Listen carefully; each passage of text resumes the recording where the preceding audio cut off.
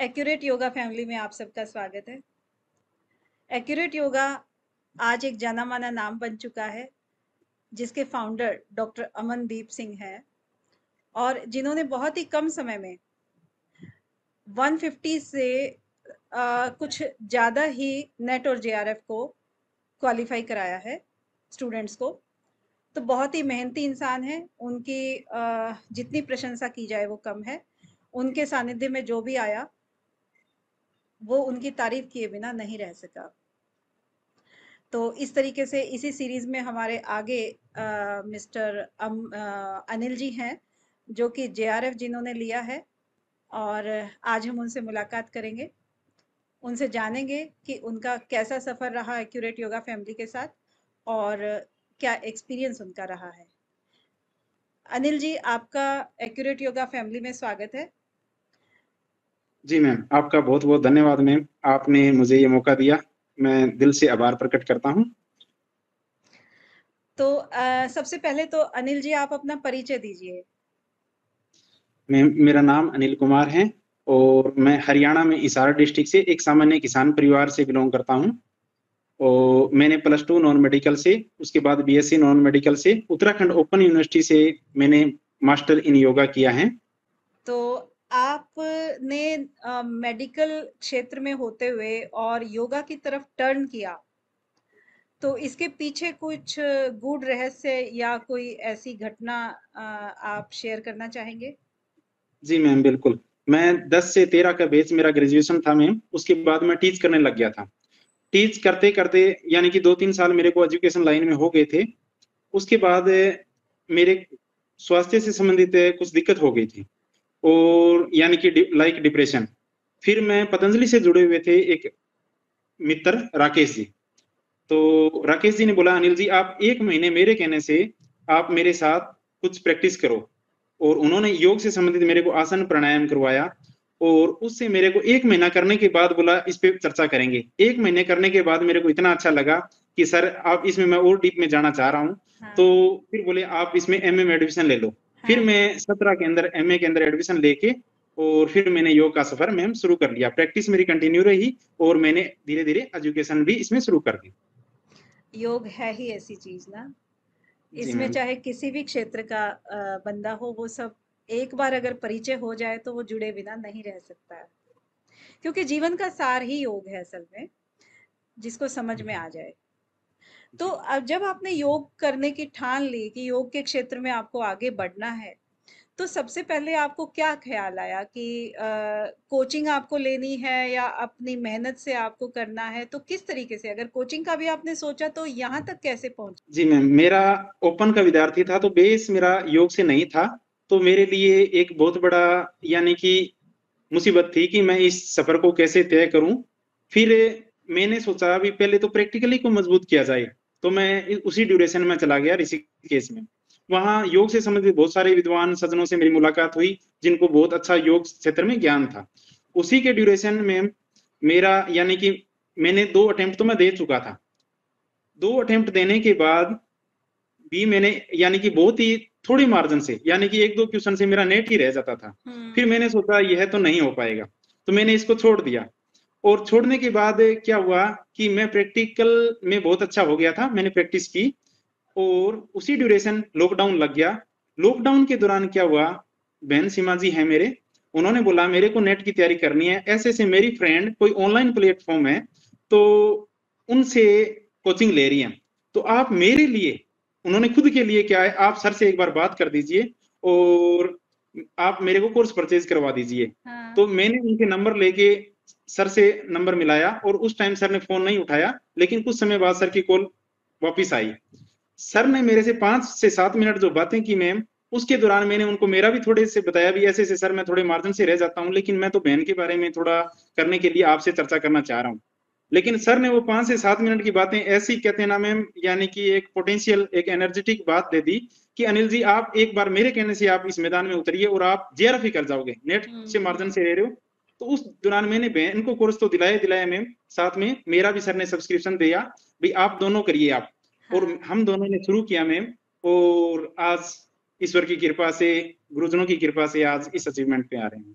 हाँ तो जैसे आपने बताया ना कि जो सर कॉल किया या सर से आपका जो अटैचमेंट हुआ या अम, उनसे जो बातचीत हुई तो उनसे जुड़े बिना फिर रह नहीं सकता कोई भी। तो उनके अ, वाणी में समझिए कि उनके मोटिवेशन में वो प्रभाव है।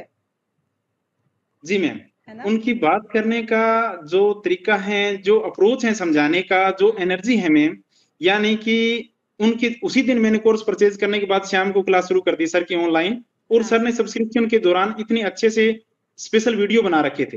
हाँ। तो फिर उनकी आवाज़ के अंदर एक ऐसी एनर्जी थी कि पूरे दिन वही चीज़ चलती रहती। हाँ। और फिर पूरे यानी कि बेसिक भी क्लियर किया और ऐसे करते करते मैम आवाज़ वाली बात है ये बिल्कुल है मैम अब भी हाँ यानी कि कॉल पे जब बात करते हैं तो पूरे शरीर के एक बार रोंगटे खड़े हो जाते हैं क्योंकि उन चीज़ों इतना टच में हो गए इतनी श्रद्धा बन गई उस आवाज़ के साथ कि सर से अब बात होती है ना तो बिल्कुल लगता है। तो जैसे आपने एडमिशन तक एनरोलमेंट नंबर तक आपने बताया उसके बाद क्लासेस भी अटेंड की और क्लास अटेंड करने के बाद आप क्या सजेस्ट करोगे? जैसे कि नए बच्चे भी एनरोल हो रहे हैं कि उनको लाइव क्लासेस से कितना फ़ायदा मिलता है या रिकॉर्डेड क्लासेस से कितना फ़ायदा मिलता है? जी मैम मैं इसके दौरान मेरा जो व्यू है पर्सनल उसके बारे में ये बताना चाह रहा हूँ।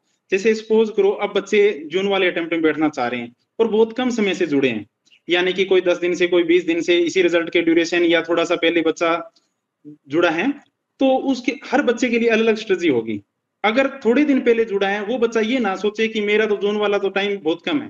हम्म। जो सर का कंटेंट है सर ने जो पीडीएफ बना रखी है और सर ने ऐसे समय के लिए ऐसे बच्चों के लिए स्पेशल वीडियो बना रखी है जो बहुत ही कम समय में और पूरा सिलेबस अच्छे से कवर हो सकता है। तो उन बच्चों के लिए मैं ये कहना चाहूँगा सर की जो स्पेशल वीडियो है साठ से सत्तर घंटे की करीबन सत्तर घंटा टाइमिंग है जो अच्छे से आप बार बार रिपीटेशन के हिसाब से देखेंगे सर की एप्लीकेशन पे मैम यानी कि पीडीएफ है उन पीडीएफ को बार बार पढ़ेंगे तो इतनी समझ विकसित हो जाएगी कि हम अच्छे से निकाल जाएँगे मैम जून वाला स्पेशल रिकॉर्डिंग जो उनकी है जो कम टाइम की है पंद्रह से बीस मिनट की एक रिकॉर्डिंग है। अगर थोड़े समय में किसी को करना है तो वो रिकॉर्डिंग से भी उनका बेड़ा पार वो इतना ही पढ़ के निकाल जाएगा। हम्म हम्म। और साथ में पीवाईक्यू का ध्यान रखना ही है क्योंकि पीवाईक्यू सर भी क्लास के दौरान बताते रहते हैं चाहे वो स्पेशल वीडियो में हो चाहे वहाँ हो। पीवाईक्यू रीड की हड्डी है और सर ने इतना अच्छे से पीवाईक्यू को सेट कर रखा है यानी कि हर एक क्वेश्चन को पूरा एक्सप्लेनेशन हर एक ऑप्शन पे काम कर रखा है तो उनका भी अलग से वीडियो बना रखी है। उतने को देखें तो उतना ही मैं तो इनफ मानता हूँ। और अगर किसी को लगे भाई मैं तो अब मास्टर डिग्री में एडमिशन लिया है और मेरे पास टाइमिंग है एक साल का क्योंकि अटेम्प्ट वो अगली बार देगा और सर से आज ही जुड़ गए हैं। तो हम्म वो उन वीडियो के साथ में अपने टेक्स्ट बुक वो पढ़े और भी उसके पास लग रहा है भी मेरे पास अच्छा सा योग संबंधित चीज़ें हैं मूल ग्रंथ हैं तो उनको आराम से पढ़ें। तो उस चीज़ का तो देखो मैम शॉर्टकट मेथड तो अलग चीज़ है और वो स्मार्ट वर्क अलग होता है। तो वो हार्ड वर्क भी साथ में करेंगे तो उनका जो ज्ञान का लेवल है जो नॉलेज है वो अलग रहेगा। तो हर बच्चे के लिए एक अलग स्ट्रेटजी होती है। हम्म। लेकिन सर से जुड़ने के बाद बच्चे के अंदर एक ऐसी मोटिवेशन ऐसी एनर्जी आ जाती है कि हम्म। मैं बस जल्दी से ही और अच्छे से कर ही जाऊँ। और वो बच्चे मेरे को लग रहा है कि अभी जो 20 दिन पहले जुड़े हैं उन बच्चों को भी जून के अंदर सफलता मिल जाएगी। जो हम्म बच्चा मेहनत करेगा यानी कि मेहनत शिद्दत से करनी पड़ेगी। और मैं ये भी स्ट्रेटजी के अकॉर्डिंग टू बात आ जाती है, अभी हर बच्चे की स्ट्रेटजी तो देखो अलग होती होती है, लेकिन अपने जो सर का प्लेटफॉर्म है, इस प्लेटफॉर्म पे एक प्रॉपर शेड्यूल है मैम भाई बच्चा अगर एक बार कनेक्ट हो गया तो मैं थोड़ा सा और डिटेल में जाना चाह रहा हूँ। जैसे सर की क्लासें तो है ही हैं सर की स्पेशल क्लासें पी वाई क्यू वगैरह भी। साथ में मैम मैं ये श्रेय आपको देना चाहूँगा, एक ग्रुप डिस्कशन के लिए, यानी कि जो प्लेटफॉर्म है तो वो मैम ऐसा अच्छा बना रखा है, अभी मैं मेरे बारे में.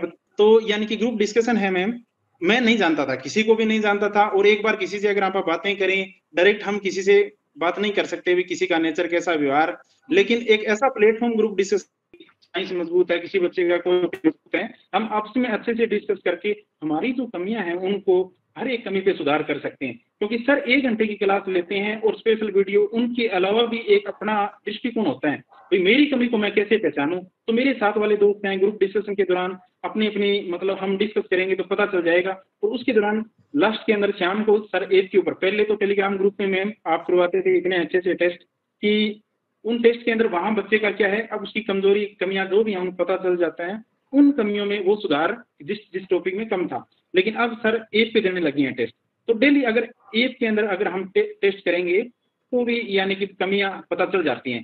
जिस यानी कि हार्ड कुछ नहीं है कई टॉपिक ऐसे लगते हैं किसी के लिए हार्ड हो लेकिन उन लगे भी कोई दो बार में क्लियर हो सकता है कोई तीन बार में हो जाता है किसी को ऐसा लग रहा है कि ज़्यादा हार्ड लग रहा है तो चार बार में क्लियर हो जाएगा। हार्ड कुछ नहीं होता नहीं रहे क्योंकि एक का ब्रोड सिलेबस है कि अगर हमने मास्टर में पढ़ा है, जैसे मेरा, मेरे लिए तो एक बार उसको मेरे को सभी हार्ड लग रहे थे, लेकिन अब इतने आसान लगने लगे क्योंकि मैंने उनको इतनी बार पढ़ लिया, इतनी बार पढ़ लिया तो बार बार मेहनत करेंगे तो सब चीज़ें आसान हो जाती हैं और मिल जाती हैं उपलब्धि।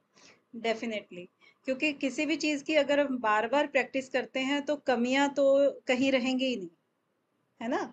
उसके जैसे हम टेलीग्राम पे भी बात कर रहे हैं ग्रुप डिस्कशन होता है, उसी टाइम हमारी क्वेरीज को भी सॉल्व करते हैं हम।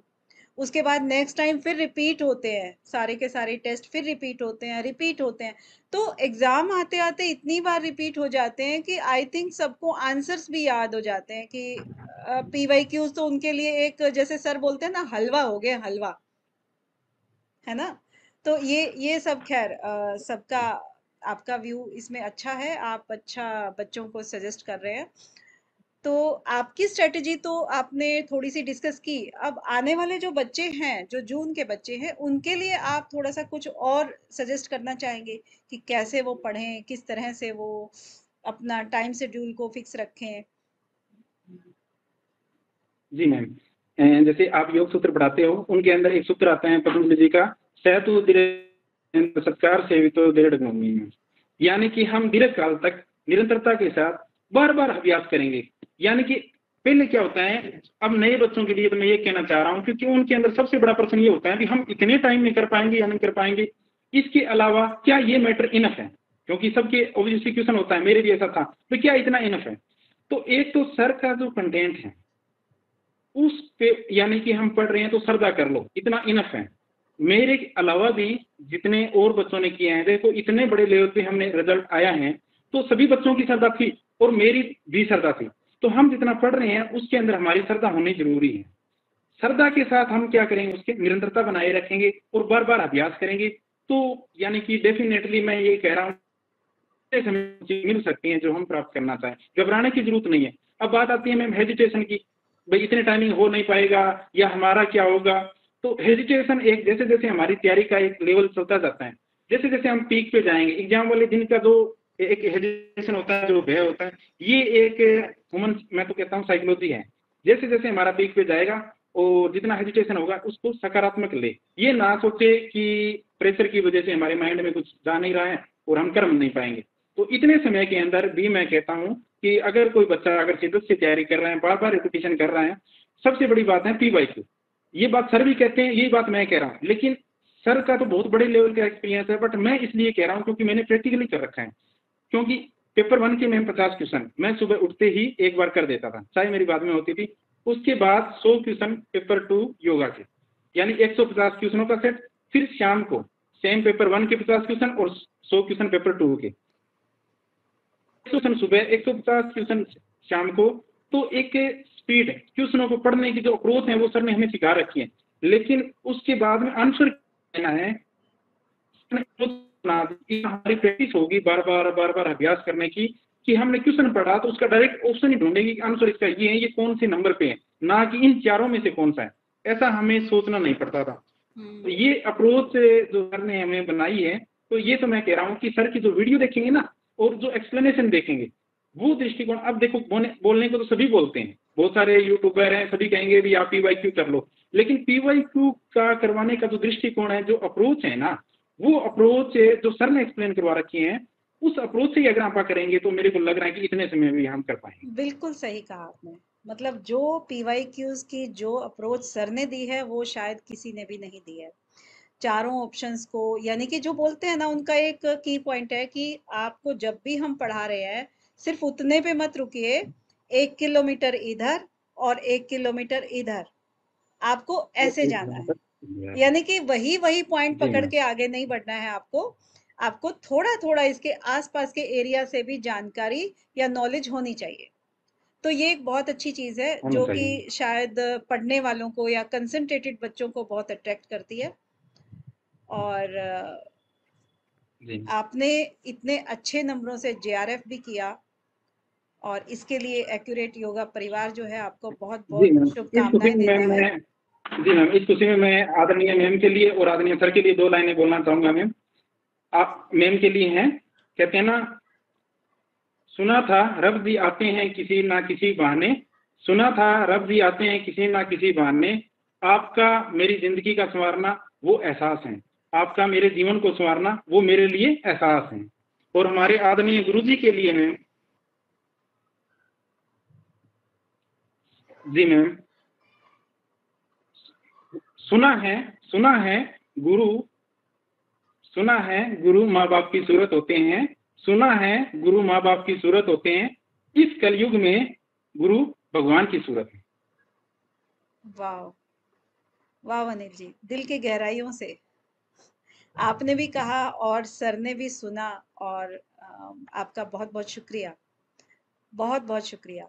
क्योंकि आप एक अ, स्टार बन के उभरे हैं एक्यूरेट योगा फैमिली में तो इसके लिए आपका आ, बहुत बहुत शुक्रिया और आपको बहुत सारी शुभकामनाएँ भी आने वाली ज़िंदगी में।